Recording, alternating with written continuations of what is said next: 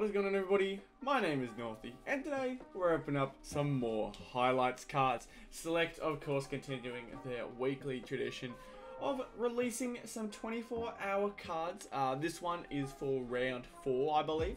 Um, I don't think anything too crazy special. However, I believe this was the round for the young Adelaide gun, which is actually really, really exciting. Liking the way he plays, but praying that soon enough North Melbourne youngster Jason Horne-Francis gets himself on. I really want to pick it up. Uh, if he did it in round six, uh, or if he does it in round six, I'll be super, super happy. Who knows, but uh, nonetheless, we'll see what happens. So, rip open this bad boy, and uh, one of my favorite parts is always checking to see uh, which color the pouch ends up being, as this one's taken a lot of might. Is it hiding something from me? I'm not too sure, but there we go. We rip the top open. That's beautiful. Now, what color are we looking for today? Please no red. Green, yes, I've been waiting for a green for a long time. I really, really like green. It's my favorite color, so it's good to get one. It is a dark green. I do like the lighter green. Neon green's pretty cool, but it's picky stuff. We don't care about the package as much. We just care about what's inside. Hopefully some decent numbered highlights. So, without further ado, let's rip into this one. Of course, the massive thing. Here we go. We have a check, and that is the young gun Josh Rachele. What a what a lovely card. And then behind him we've got Willie Rioli. These two guns of the game at the moment, of course. Willie Rioli coming back from his long suspension, having a decent season for himself. And then Josh Rachele really uh, coming out and becoming a strong performer. Uh, we'll go with Willie's first because I don't think many people will be too interested. Maybe who knows? It's a Rioli. We always love Riolis in this in this beautiful game. So let's see what number we managed to pull here. Number 52 of 218. We do like seeing a zero at the start. 52. Not a bad one. We'll take it. Uh, the West Coast Eagles flew east to tackle Collingwood, with few giving the winless and undermanned Eagles any chance of toppling the in-form Magpies that they recorded an inspir inspiring come-from-behind victory had a lot to do with Rioli, who kicked three clutch goals. The classy forward's first came from a courageous mark running with the flight of the ball, and his last gave him his team the lead with just over five minutes remaining after outmarking John Noble and converting from 40 meters. Lovely little highlight there, Willie Rioli doing big things for himself. Good to see him having a successful career again. But then Josh Rachele, this one is really, really exciting. He's having a decent season for himself. Uh, really putting his name out there, giving some impact to the game and the Adelaide side. So I'm interested to see what number we get for him. It is number 205. Again, nothing crazy with the numbers. Uh, number 205 though of 330. That's a fair bit printed out for the Adelaide player. But exciting small forward who has produced a blistering start to his AFL career with 10 goals in the opening four rounds, including five on debut against the Fremantle Dockers. Day after turning 19, the Shepparton teenager picked up the round four NAB AFL Rising Star nomination for another three majors in the Adelaide Crows one kick loss to Essendon. Rachele had seven score involvements among his 19 disposals and took an equal game high nine marks. That's a top-notch effort from Rachele, uh, especially the day after turning 19, getting the nomination. That is good stuff. That is a top-notch performance from him. Uh, unfortunately, no notable numbers today, but nonetheless, some really, really nice cards that I'm happy are involved in this video here today. But putting back in our oversized top loader, I still don't know why they've gone with the oversized top loaders as the regular sending, especially after the first week. They sent regular top loaders, so I don't know what it's all about. But nonetheless, I uh, hope you guys enjoyed this little opening bit. We will soon get ourselves that highlight we're looking for, that NAB Rising Star card that we get uh, with the 001 will be worth it. So, thank you all for watching this part, and let's get into some packs. And we are here for the 12 packs of Footy Stars 2022. Of course, we are looking to try and keep our luck going. Finding ourselves a box hit last week. Sorry for the camera movement. These ca corded cameras are getting very annoying, but uh, last week managed to get that awesome box hit. Uh, be sure to go check out that video, by the way. Uh, last Saturday, getting a nice box hit. So hopefully today we can repeat here. Still looking for an above the box odds hit. Hopefully we can find one here today, but anything is always very, very much appreciated from you select. So thank you so, so very much uh, for what you did last week, but let's try and do it again. We're always happy to uh, do whatever we can to make sure that we can get ourselves a big week, a big week, a big win, whatever it may be. Obviously, every week doesn't necessarily mean uh, we need a big box hit, but it'd be a preferable uh, choice here, obviously. We've got ourselves Zac Bailey, Anthony McDonald-Tipungwuti, Ebony Marinoff, uh, Tom Hawkins, and our first insert is going to be a Mason Redman Starburst paint. Starting off the way it was last week, to be fair, we got a lot of Starburst paints last week, so hopefully uh, nothing similar there. Next pack, I'm almost rushing through these to start. I will quickly mention, but yes, 12 packs as per usual. Um, I hope that the 12 packs remains as entertaining to you guys as it is to me.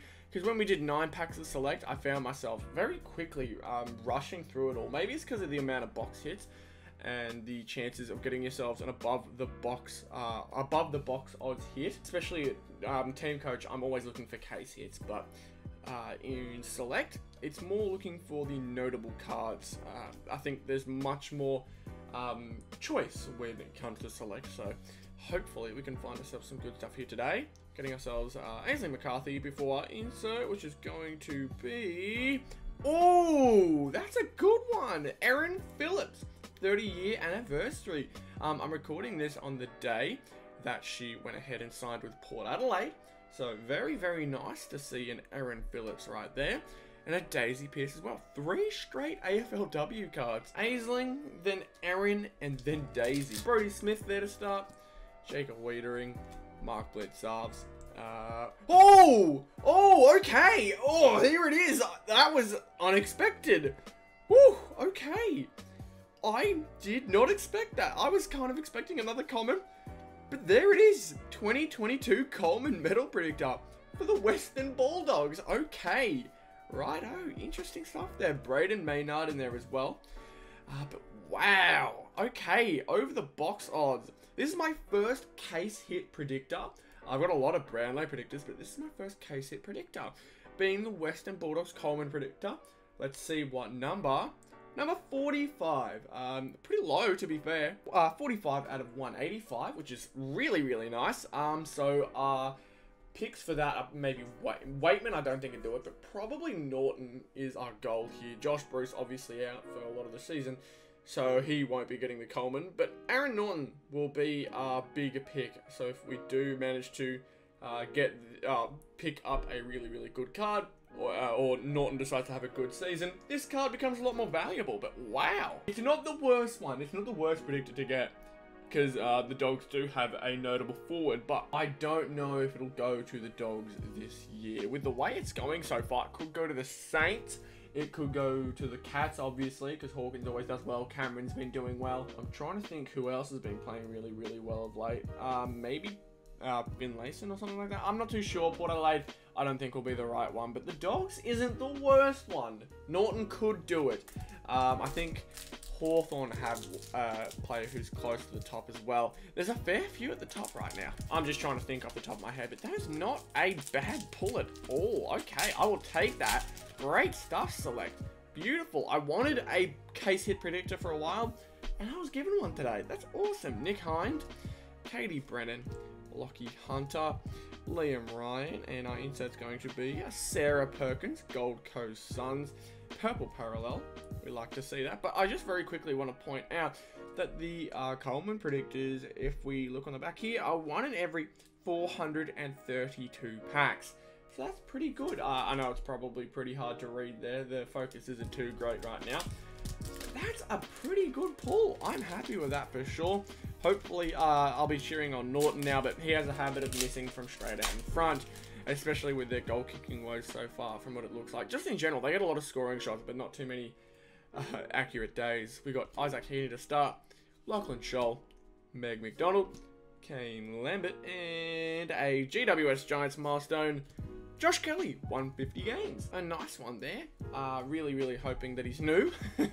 Always hoping that they're new, if we're being completely honest. But I'm still a little um, shocked by that by that Coleman medal predictor. That's actually super sick. Um, probably would be happier with the likes of Geelong or St Kilda. I'm not 100% sure which way it's going to swing, but Dogs could do it. Def it definitely could be an alright one. I've got ourselves Sammy Walsh, Dayne Zorko, Nik Cox, Isabella Lewis, and we find ourselves a game breaker. Tex Walker came back, did pretty well. Did good stuff for him. Um, yeah, just hoping. I'm, I'm still kind of just thinking about the Coleman predictor. There's definitely someone I'm missing. I know Tom's doing well. I know Max is doing well. Uh, ben, no, not Ben. Um, that's my that's my McKay. Harry McKay is probably up there as well. It's a pretty tight race so far, and it's not just two players. Last year it was kind of McKay and Hawkins battling it out, and McKay took it eventually. But uh, this year is a fair few uh, contenders for it. Zac Williams and a Karl Amon Starburst paint. Definitely have him. Seen him a fair share of times, but I'm almost certain that it's a four or five man race right now for the Coleman medal. So really, really interesting stuff there. Um, I don't know if Naughton's in contention right now. Larkey was doing okay, but I really do not have faith in that man. And it's only because of the team he plays on and uh, still growing into his shoes right now. He's trying to fill the old Ben Brown role, but obviously it's not going to be easy to fill a nearly Coleman medalist and now Premiership player's uh, shoes. It's always going to be tough. Uh, Errol Gordon, Luke Shuey, and a Zac Bailey. Oh, the nose, mate. The nose! Starburst will always get me with that. I, I don't like him, and I like him sometimes. Like, Nick Nat is a really, really good Starburst. Zac Bailey, on the other hand, is probably a horrific Starburst. Disrespect that the Starburst cards show uh, the AFL players is just absolutely ridiculous. We got ourselves Isabel Huntington, Jack Silvagni, Daniel Rich, Dion Prestia, and Purple Foil. Nor Ben McKay. I've got my fair share of Ben McKays. oh, look, uh, speaking of Ben McKay, we're going back to back. All right, fair enough. Ben McKay, double trouble. Maybe it's Harry McKay because I remember the the meme going on as of recent is that you've never seen Ben McKay and Harry McKay in the same game. I'm interested to see the day they finally play each other. I definitely want to go to that game, but uh, it doesn't look like it's going to be happening this week, considering that uh, Ben McKay was handed a one-game suspension. Uh, we've got Tex Walker, Darcy Vescio, Oliver Florent, Jeremy Cameron, and another one, Maxi King. Uh, we were talking about Coleman predictor, predictors and Coleman favourites. There's a Coleman favourite right there, Maxi King. Although kicking one goal seven against GWS is probably not helping him.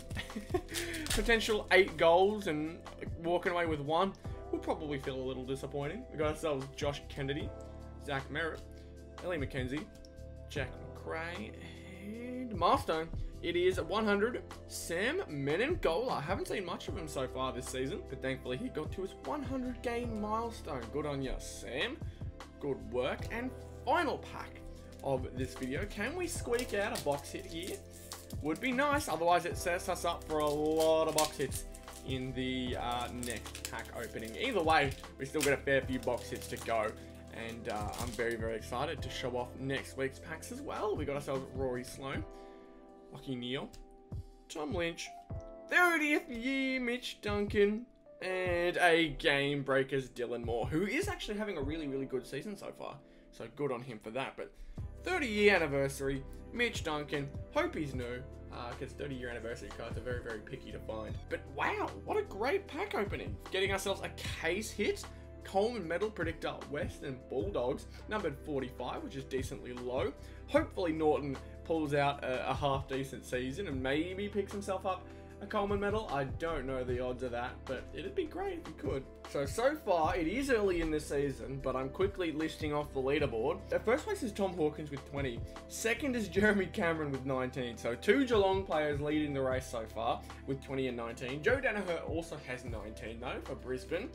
We got ourselves Max King with 17. Could be 20 for sure. Should be at least 20 with uh, his the amount of set shots he had against GWS, but didn't make the most of them. Zac Bailey is a surprising one. 16 goals for Brisbane. We got Charlie Curnow, who's doing really, really well so far with 16. Mitch Lewis was the one I was thinking of, who also has 15. Aaron Naughton, our man for this one, has 15 as well. He is tied with Rich and Heaney. So, there's still a chance that this can do well. There's definitely no saying that it won't go well for us, but so far, Geelong is in the lead and has two comfortable favourites for the Coleman medal. So we'll see how that one goes. But nonetheless, not a bad card. I will definitely be happy to pick this one up. So thank you all so much for watching this video. If you enjoyed, be sure to leave a like, comment down below on the video ideas, suggestions, and constructive criticism, and subscribe to the channel if you are new. So thank you all so much for watching this video, and I'll see you all in the next one. Goodbye.